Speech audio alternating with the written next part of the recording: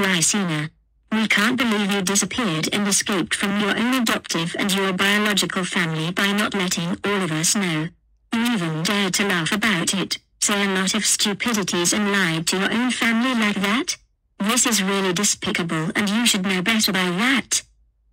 Your mother's right, Ericina. You should know that we have been worried sick about you. We tried calling you, but we couldn't find you at first. What did you do something else besides that? Marms, Dad's in Ericina. The next thing I did was riding an elevator that got somebody else trapped. Young lady. This is just despicable of you.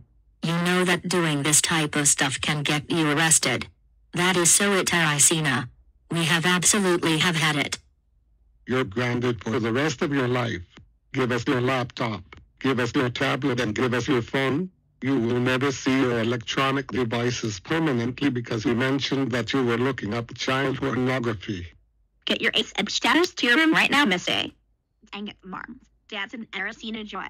All of you will have to regret it someday.